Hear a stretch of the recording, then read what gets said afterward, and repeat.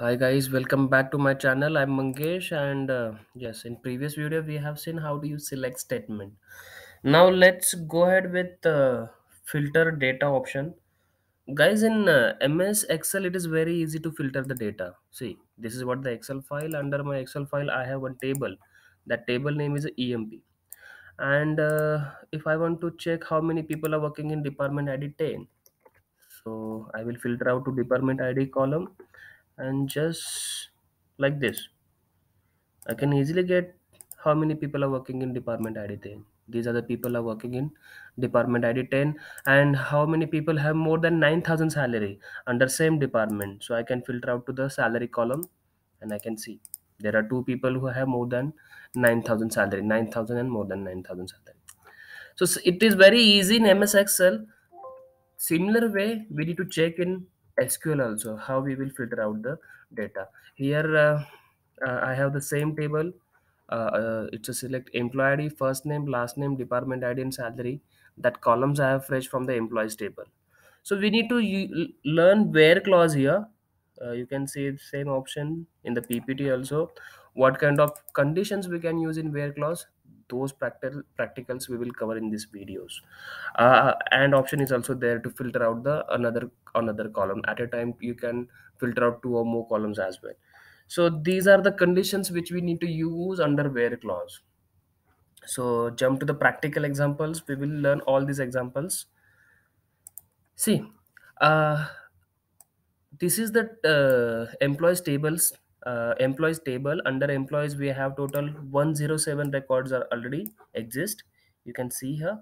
And i wanted to filter out the people who are working in department id 90 so i will continue with where clause. So semicolon remove it. And uh, let's start using where clause. Where which column you need to filter out? I want to filter out department id column.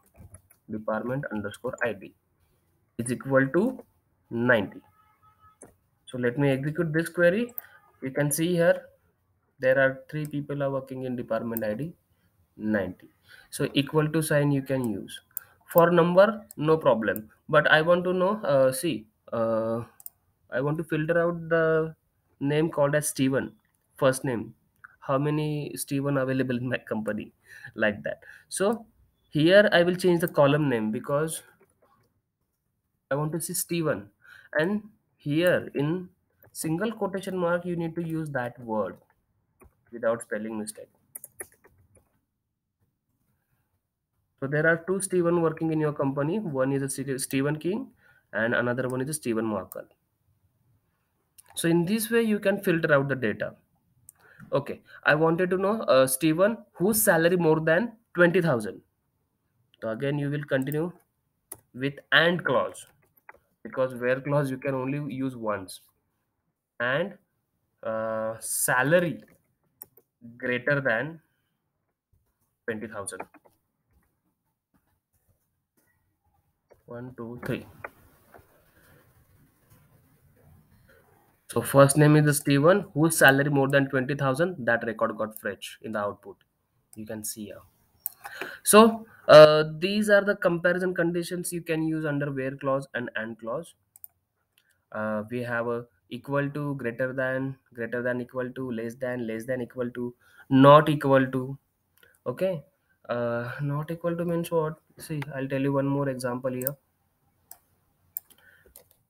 I have a department ID column. Okay.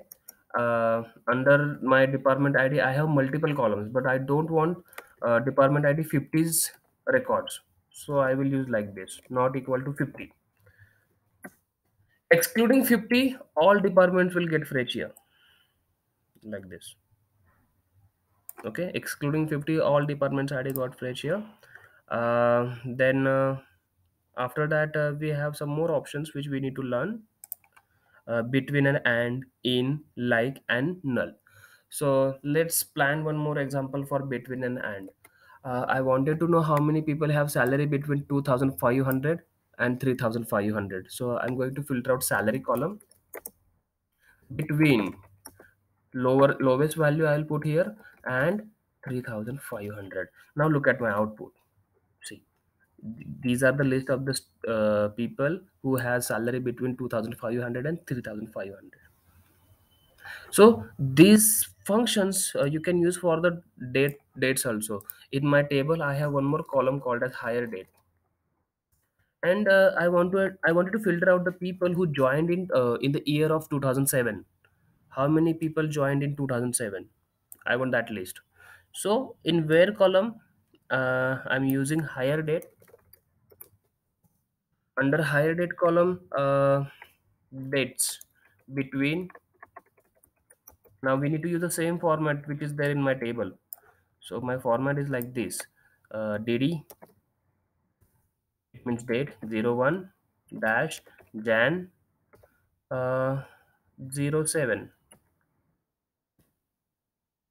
this is lowest value and 31st dash dec dash 07 i'll get the list of the people who joined between these dates who hired it. So let me execute this query and you can see the output. So these are the list of the people who jo- who joined you in that date in that year actually. So you can use between and end function mostly for the transaction dates also. Now uh, let's move to the next example uh, that that is there in the ppt in what is the use of in if you want to filter out multiple records now i want the details who are working in department id 50 also de- department id 60 also and department id 70 also. But that time i cannot use is equal to sign over there. So where department underscore id is equal to 50 60 oh, again i put 70 or 90 like. But equal to sign is not a right option in instead of equal to you need to use in option. So you'll get this. Use control enter. So 90 then 60 all department rows got fetched multiple s- pattern you have filter out with the help of in clause. And if you don't want this then use not in operator over here. Not in. So it will exclude 50 60 and 90 and others rows will get fetched here. Look at the output okay uh, then uh, go to the my ppt what are the options are remaining? Uh, there is a one more important like like mostly used to match the pattern in uh, sql like uh, I, I wanted to know how many people's name starting with yes character s. So first name. Where first name column? I'm going to filter out first name column. My condition is like uh, like uh, okay s and percentage. It means what? Name starting with s percentage. It could be anything. Sandeep santosh whatever it is. So let me filter out these records. So these are the people whose name starting with s. Those got fetched here. So here this percentage sign denotes multiple character. It denotes multiple character. After s it could be anything and underscore sign will denote some uh, one character. So what is the use of underscore that i'm going to tell you in this video? Okay now my condition is what? How many uh, first name uh, second character contains o? First character can be anything. First character can be anything but i want second character as a o small o. And after that whatever it is. So it will tell me how many people's second name uh, sorry in first name second character shows o. So let me execute this one. Look at this. John joes in uh, i got those people who- in their first name second character is o is present over there. Like that. If i want to match uh, some pattern like how many persons contains this sh sh in everywhere. Like so what i'll do is percentage sh percentage. So it will give me the list of the people. I have only one person under whom that sh pattern is available. So you can search that entire pattern in that column. So in this way you can use the like condition also. So you must be aware of what is the rule of that percentage sign what is the rule of that underscore sign. Uh, if you want to match sh pattern in anywhere then percentage sign. Here can be anything here can be anything. Between you can see this pattern only so like used to match that pattern in sql so i'm going to finish this sql query uh, sorry video here. In our next video we will learn some more example on uh, others like uh, not null is pending and group by clause is pending. Uh, we in uh, in our next video we will learn group by clause order by clause and uh, null wala option. So i'm stopping my video here. See you in next video. Thank you